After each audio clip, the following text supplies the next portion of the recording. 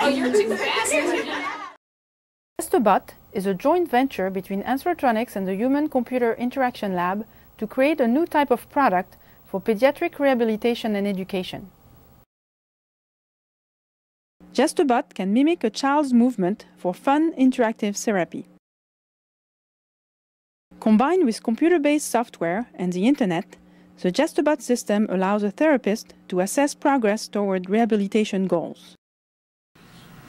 For the Yeah. child, the Jesterbot is a soft and fun robot that can shake his head, flap his arms, spin or glide across the floor, and tell stories. Control the robot, the child wears accessories with wireless sensors that measure the child's movements. Now the robot can respond to the child's action. Sensors can be placed at different locations on the body and will soon be miniaturized to be more comfortable and flexible. Just Jesterbot is the next generation of PETS, the personal electronic teller of stories, designed at the Human Computer Interaction Lab.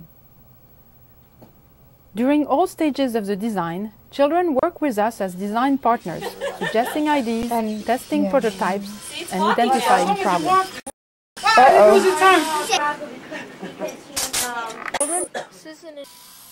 Kids especially like controlling the robot or simply dance with it. How do you pick it up instead of your head?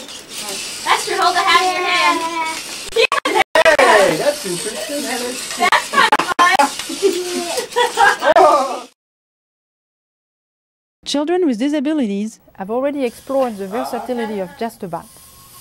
Down. We could see their joy when they understand that they are controlling the robot or when they pretend to fly with a robot. We believe that children view the robot as a toy friend and that Jesterbot technology can encourage them to complete repetitive exercises. But of course, sharing controls and playing with a friend is a lot more fun.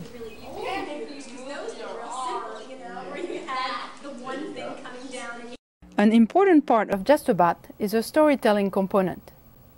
The. Children or adults can record interactive stories while controlling the robot. Or they can use software on a computer or the internet to compose a story of text, voice, and actions for the robot to act out. I'm Baby. I am looking for my